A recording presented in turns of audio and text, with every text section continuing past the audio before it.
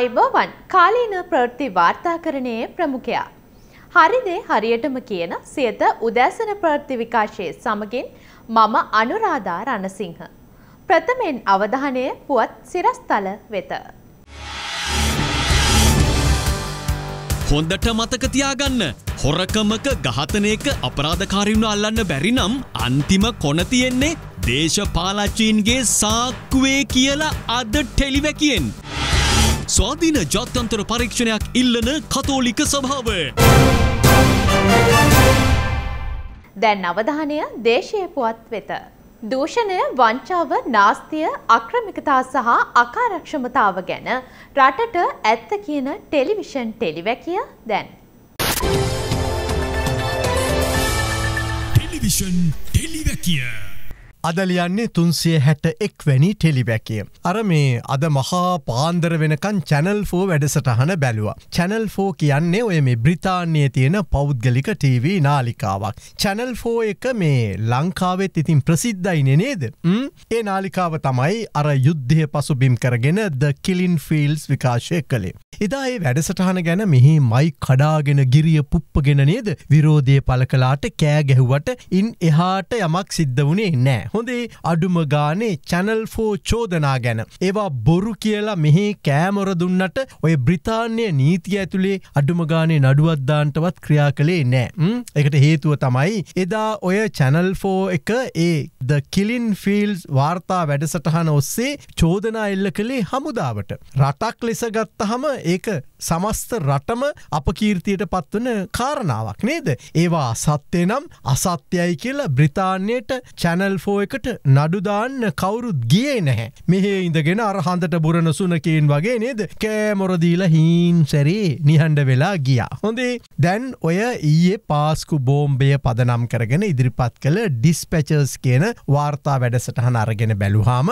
බැලූ බැල්මට ඒක ඇතුළේ මහා අලුත් හෙළිදරව්වක් නෑ. හොඳේ මොකද මේ දැනටමත් අපේ ශ්‍රී ලාංකිය සමාජය ඇතුළේ ඇති සැකය. ශ්‍රී ලාංකිය සමාජය ඇතුළේ ඇති චෝදනාම තමයි ඔය ඔය ඩිස්පැචර්ස් හිත් තිබුණේ හොඳේ විශේෂත්වයකට තිබුණේ විසිල් බ්ලෝව කෙනෙකු යොදා ගැනීම. මේ විසිල් බ්ලෝව කියලා ඉංග්‍රීසියෙන් භාවිත කරන්නේ යම් අපරාධයක නීති විරෝධී ක්‍රියාවක නියලෙන පුද්ගලියකෝ කණ්ඩායමක් පිළිබඳව තොරතුරු හෙළිදරව් කරන්න. එයාට තමයි විසිල් බ්ලෝව කියලා කියන්නේ. ඒ අනුව මේ චැනල් ෆෝ වැඩසටහනේ ඇත්තම විසිල් බ්ලෝව අර පිල්ලයාන්ගේ ළඟ හිටපු හිතේශවන්ත මවුලානන නෙවෙයි. හොඳේ මුහුණ නැතිව අර මේ විකෘත කළ කටහඬක් අයිති උසස් රාජ්‍ය නිලධහරියෙක් යොදාගත්තානි නේද එයා තමයි වෙසිල් බ්ලෝව. එහම තමයි අපට බැලූ බැල්මට නම් පේන්නේ හොඳේ මවුලානත් ඉතිං විසිල් ටිකක් පිම්බා තමයි හරිය දැන් ඔය පාස්කු බෝබ්බය පිළිබඳ සම්බන්ධයක් ගොඩ නැගවා. ඒ සම්බන්ධය ගොඩ නැගුවේ කොහොමද ගෝටාබේව බලයට ගේන්න පිල්්‍යයාන්ල සහ සලේලා. සහ බෝම්බේ පුපුරුවගෙන මරාගෙන මැරුන් සහරාන්ලා අතර නේද. අං ඒ අතර තමයි ඔය චැනල් ෆෝ ඒ ඩිස්පචර් සරහා ඒ සම්බන්ධය ගොඩ්නගල පෙන්වේ. දැන් එහෙම ගණ දෙනුවක් ගැන තමයි ඔය සමස්ත කතාව පුරාම සාරංශය අරගත්තුත් සාරංශය කියලා අපිට කියන්ට වෙන්නේ. අදත් කතෝලික සභාව කරන චෝදනාවත් මේ සම ගමත කරන්නට පුළුවන්ද බෑනි අහිංසක ජීවිත නේද දෙසි අසූගානත් තුන්සියක් විතර. බිලිගත්ත මෙම් බ්ලේච්ච ප්‍රහාරේ. සැබෑ මොලකරුවන්ව හෙළි කරන්න කියලානේ අදත් ඔය කාදිනල් හිම ඇතුළු කණ්ඩායම ඉල්ලන්නේ නේද? එක සාධාරණයිනි. මේ ගැන පරීක්ෂණ කරන්න ඔය ඉන්ටපෝල් ගේනවා කියලා එක වෙලාකොය මහවුන්දල පොරුන්දුනා නේද? අපිට නම් මේ චැනල් ෆෝ ඔය ඩිස්පචර්ස් වැඩසටහන බලන්නකොට එකක් අවබෝධ වුණා. එක අපිට අවබෝධ වෙලා තිබුණේ. නමුත් ඒක තහවුරුණ මොකක්ද ලංකාව කියන්නේ හදවතක් නැති මජර දේශපාලනක්ෂීන් විසින් ගාතන බිමක් බවට පත් කළ රටක් කියලා. අයහගන්න ශ්‍රී ලංකාව කියන්නේ හදවතක් නැති මජර දේශපාලනක්කින් විසින් ගාතන බිමක් බවට පත් කළ රටක් කියලා. හරිද? එකට හොඳම උදාහරණය ඔය වැඩසටහන ඇතුළේ කතා වුණු ලසන්ත ඝාතනය. ලසන්ත ඝාතනය ගැන මීට පෙර ටෙලිවැකි කීපයක්ම ලියල තියෙනවා. හොඳේ මහත් දවල් මෝට සයිකල් වලින් ගිහිල්ල මහපාරේ ඇනල මරලා දැම්මේ. ආ එදා ආණ්ඩුවට ලොක්කුම හිසරදේ බවට පත්වෙලා තිබුණු මාධ්‍යවේදියාවනි. ආයේ කතා දෙකක් නෑ ඒකේ. ඔවු ලසන්තව. එදා ඔය මහ උන්දලට පුද පුදුම හිරිහැරයක් කරදරයක් වෙලා තිබුණේ ලසන්ත. ජෙඩ් ගණු දෙනු ගැනයි නේද රහස් ගණු දෙනු ගැනයි හෙළි කරමින් එදා ලසන්ත මේ නින්දිත දේශපාලන නඩය නිරුවත් කරමින් හිටියේ. ඇඳිවත ගලෝමින් හිටියේ. හරිද ඇඳිවත උනාදාලා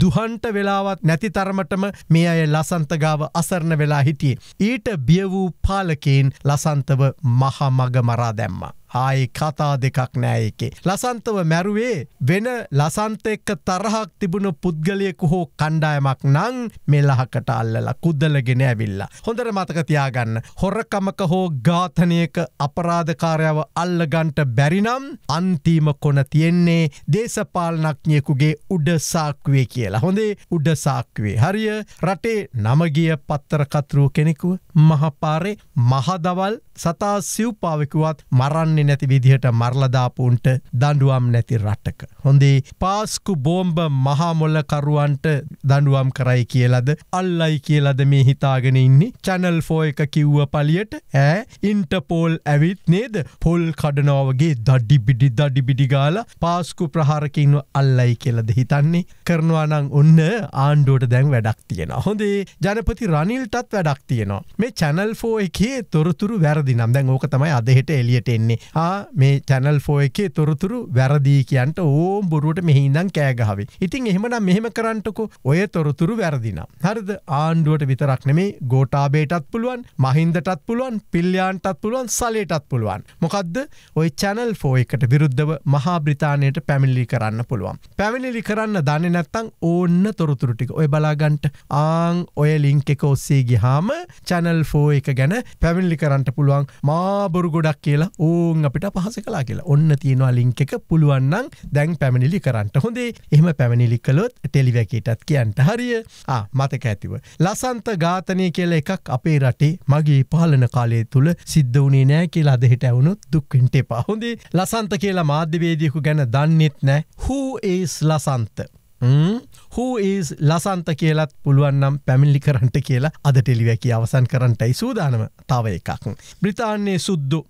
ඒක ඇන්නේ ඔය චැනල් ෆෝ එක කොටි නාලිකාවක්. මේ හදන්නේ අපේ සිංහල බෞද්ධ මහා නායකින්ව විනාශ කරන්ට මෙන්න රටජාතියාගමිවරු කියලා පපුුවට හෙම තලාගෙන කෑමරදීගෙන එහෙම එෙනවා නෙවෙයි. හොඳේ. මොකද මේ රටේ එහෙම බෞද්ධ කියලා දේශපාල නායකින් නෑ. හරිය. එකනිකන් සෙලවෙන මනසපුතා මෙහේ මහා බෞද්ධ දේශපාලන නායකින් ඔය පපුුවට ගහගෙන රට ජාතියාගම රකින්ට එන්නේ මතකතියාගන්න චන්ද කාලෙට. හොඳේ ඊට පස්සේ උන්දල කරන්නේ අතට අහුවන ජාතියේ සම්පට්ටික විකුණගෙන කන එක. හරිය පුළුවන්නන් දළදා මාලිගාවත් දන්තධාතුන් වහන්සේත් එක්ක ආ බිකුණගෙන කන්ට පුළුවන්නන් ආඒකත් කරන්නට පුළුවන් ජාතිය මහා බෞද්ධ දේශපාලන නායකවටිකත් තමයි මෙහෙ ඉන්න කියලා ටෙලිවැකි අවසන් කරන්නේ අර අපූරු ගීතයක පදවැල් කීපයකින්. හොඳේ දළදා මැදුර අධිකව මිල කළ හැකිය.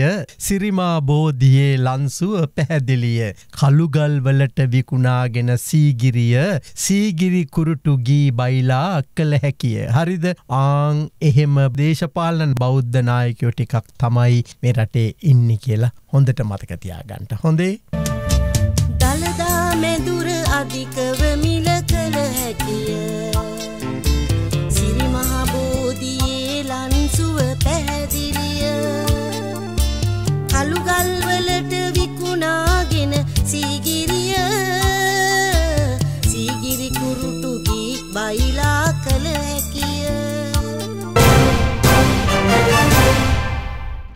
චැනල් ෆෝ වැඩස්ටහන මුල් කරගනිමින් කොළඹ අගරදගුරු කාදිනල් මැල්කම් රංජිත් හිමිපාණන් විශේෂ මාධ්‍ය සාකච්ඡාවක් පවත්වනු ලැබුවා. එහිදී කාදිනල් හිමියන් පැවසුවේ මේ පිළිබඳව ස්වාධීන ජාත්‍යන්තර විමර්ශනයක් අවශ්‍ය බවයි.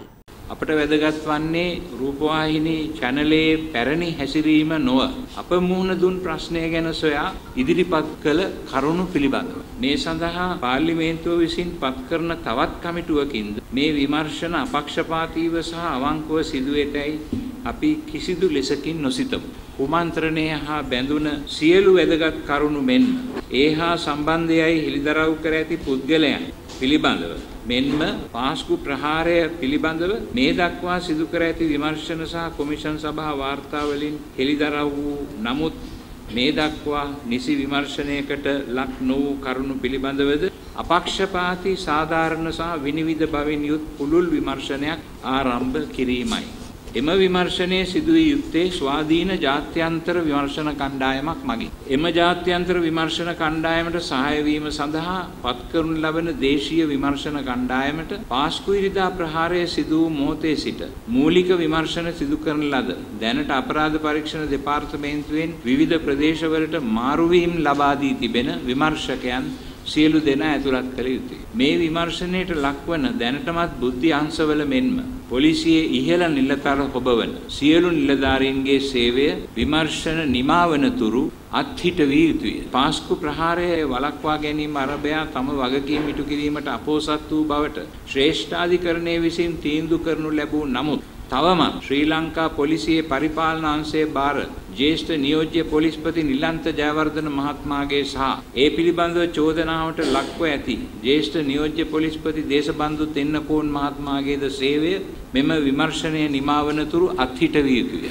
විරුද්ධ පක්ෂයේ නායකතුමා ප්‍රකාශයක් කළා තිබුණා මම එයාට විරුද්ධව ඡන්දෙ දෙන්න කියලා කිව්වයි කියලා. මම කොහේවත් එහෙම එකක් කියලා. මම අභියෝග කරනවා එතුමාට පෙන්වන්න කියලා මොන කතාවේද මම එහෙම එකක් කිව්වේ. මම කිසිම ආකාරයකින් ගෝඨාභයට ඡන්දෙ දෙන්න කියලා කිව්වෙත් නෑ. සදික් ප්‍රේමදාසට ඡන්දෙ දෙන්න කියලා කිව්වෙත් නෑ. අනුර කුමාර දිසානායකට ඡන්දෙ දෙන්න කියලා කිව්වෙත් නෑ.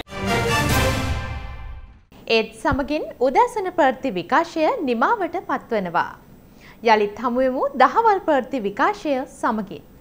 ඔබට සුබ දවසක්. රටේ ලෝකෙ සිදුවන උණුසුම් පුවත් දැනගන්න සියත නිවස් YouTube channel එක අදම subscribe කරන්න.